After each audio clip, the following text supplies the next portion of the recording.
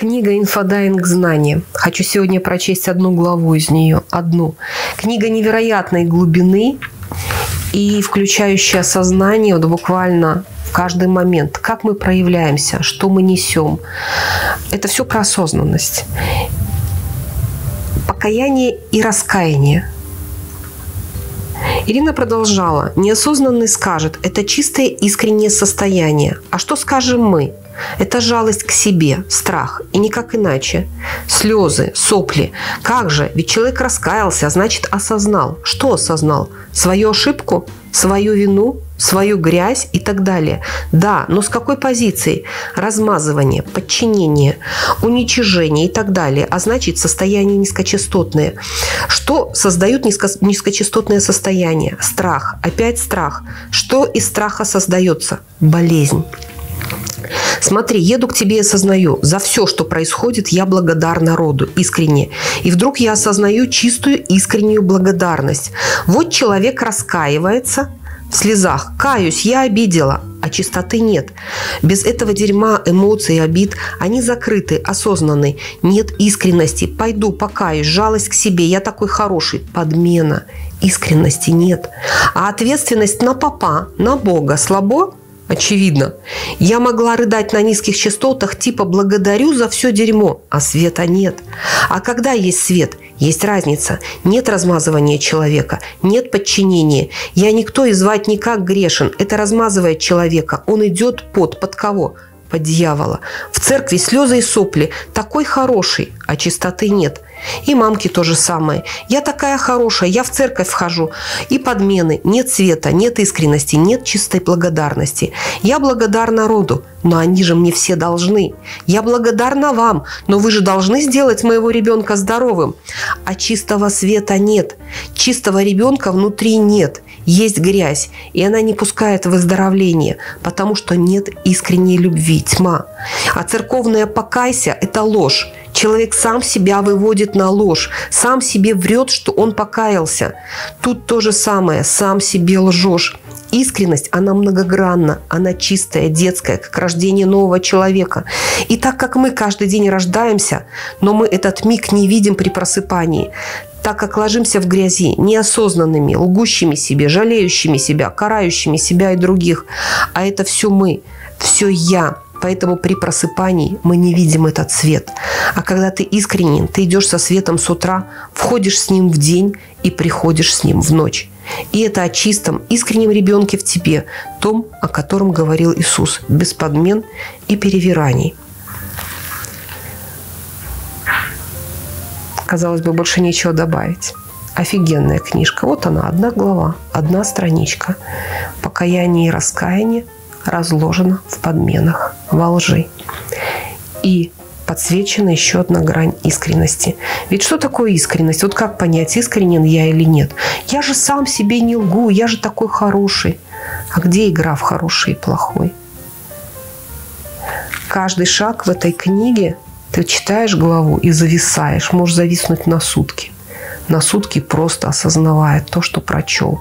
Глубина неимоверная. А ведь это всего лишь седьмая книга. Седьмая, за ней еще есть инфодайвинг глубина, инфодайвинг парадоксальное восприятие. Это все всего лишь путь к парадоксальному восприятию.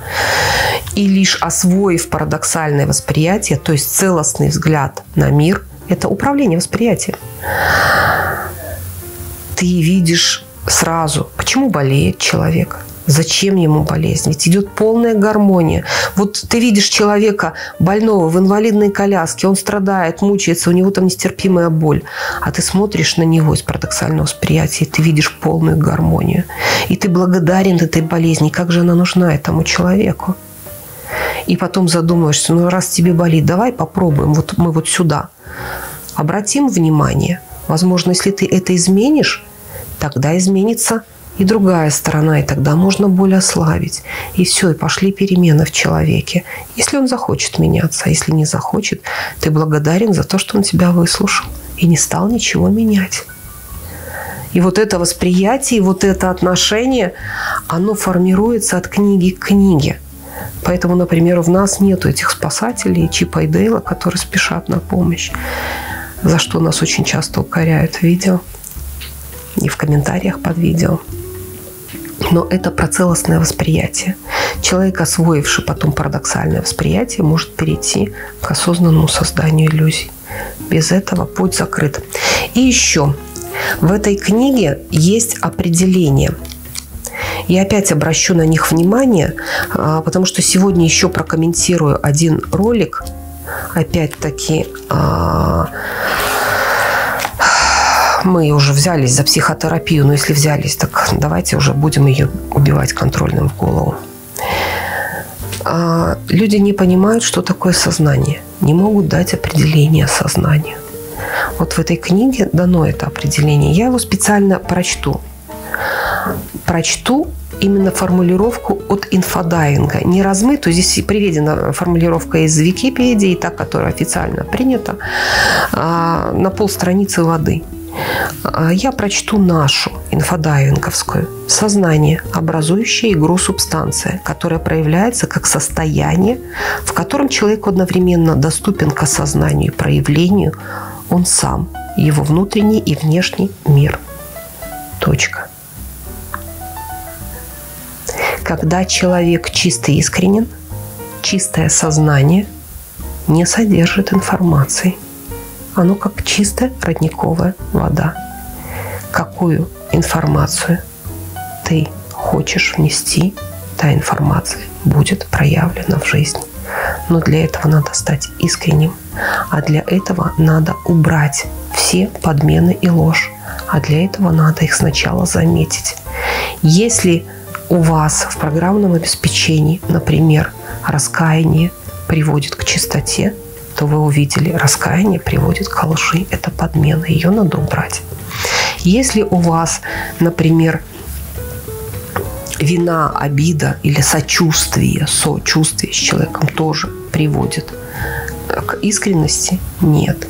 Надо увидеть эту ложь и это все в себе откорректировать. Это целый жизненный путь. Вот наши книги помогают это все увидеть в себе.